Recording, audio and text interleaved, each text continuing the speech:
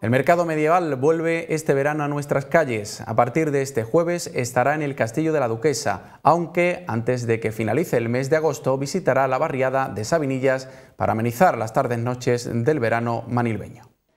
Hoy jueves 31 de julio, el Castillo de la Duquesa y más concretamente el entorno del monumento serán testigos de la inauguración un año más del mercado medieval, organizado desde el área de turismo del Ayuntamiento de Manilva.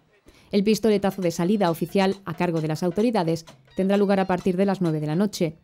La Asociación Malik, encargada de montar este evento, traerá hasta nuestras calles distintos puestos de artesanía, además de actuaciones diarias. Música celta, cetrería, espectáculo con fuego y un sinfín de actividades pondrán la nota de color a las tardes y noches veraniegas de esta barriada manilbeña.